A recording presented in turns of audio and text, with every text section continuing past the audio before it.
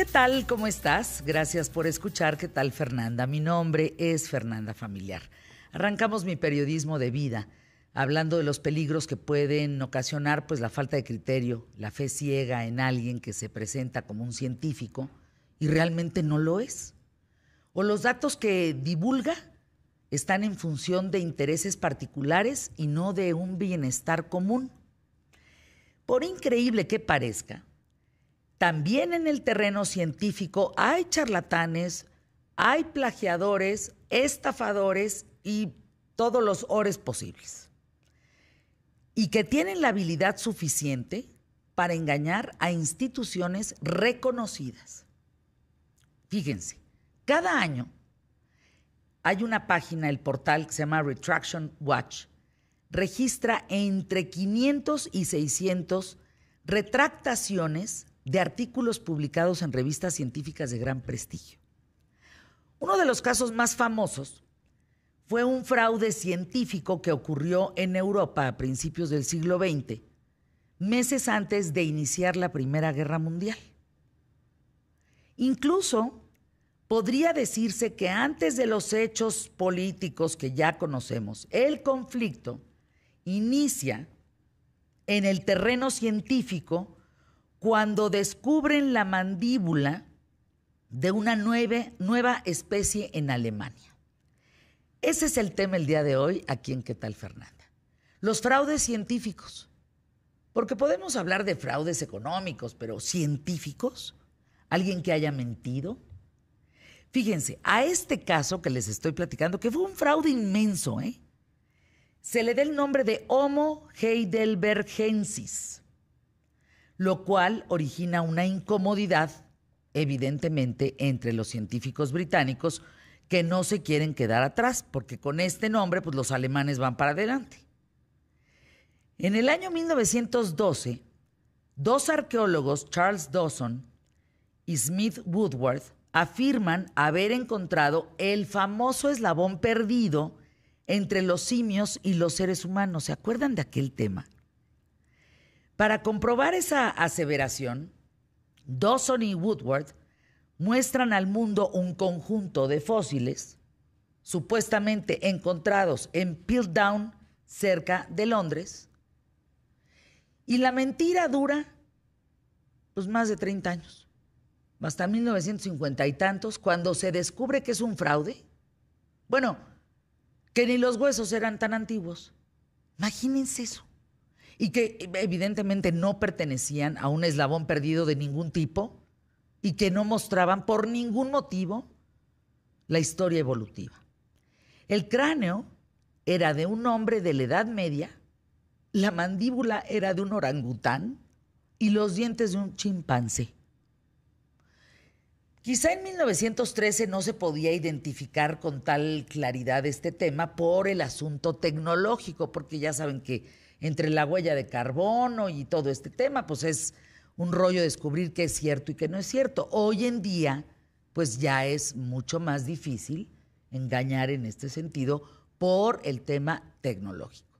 Pero fíjense, aquel cráneo de hombre, mandíbula de orangután y dientes de chimpancé fue sorprendentemente aceptado por la comunidad científica que siguió creyendo durante años en el hombre de Piltdown por lo menos 40 años más.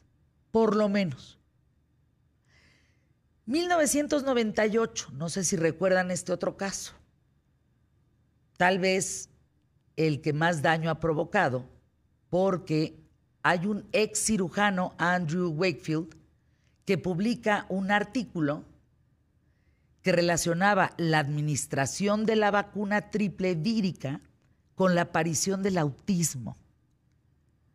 Y está demostrado que la publicación contenía datos falseados, pero este es uno de los principales argumentos de los movimientos antivacunas utilizados hoy en día.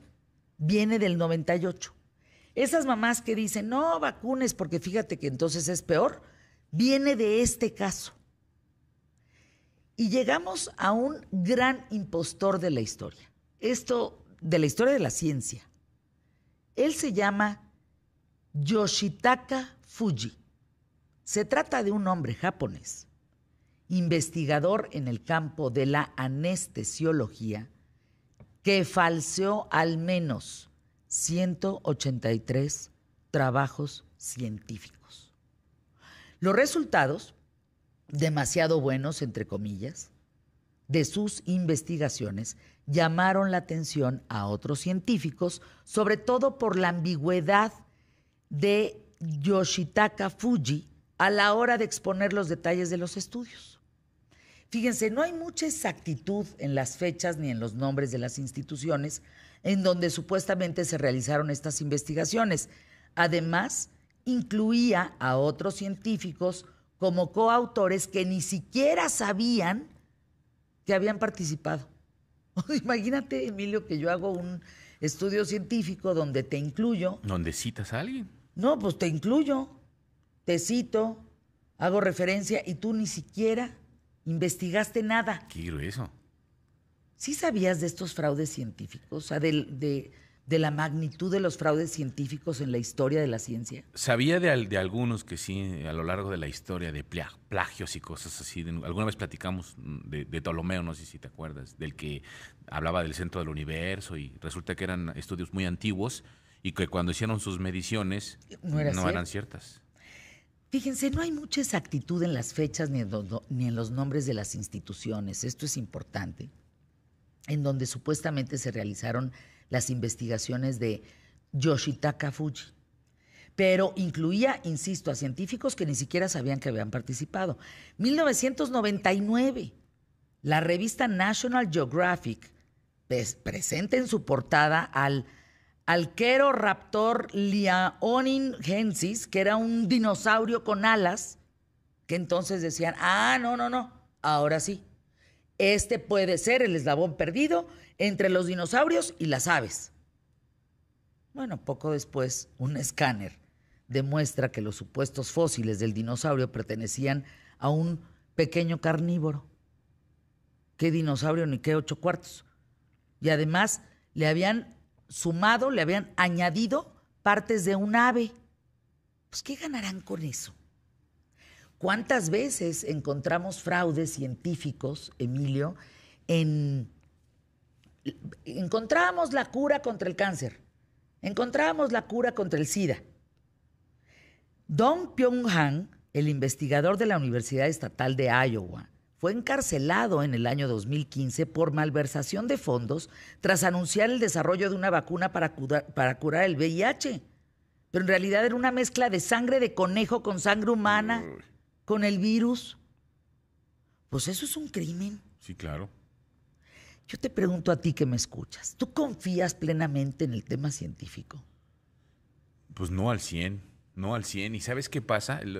Que luego viene un, un estudio que señala que otro estudio dice que a su vez el otro estudio, y entonces se empiezan a contraponer todos los estudios y no sabes realmente cuál de los estudios es el cierto, de que se han investigado en diabetes. Porque fíjense, en este bicho COVID-19 dijeron que en San Diego, en este laboratorio donde encontraron la vacuna del SARS y donde encontraron la vacuna de la influencia y del H1Z42499, Ajá que habían encontrado. Y que entonces ya encontraron la vacuna. Ayer salió otra noticia que en China ya encontraron. ¿Cuándo sabremos eso? ¿Cuándo, ¿Cuándo, tendremos certeza científicamente de un avance de esta naturaleza?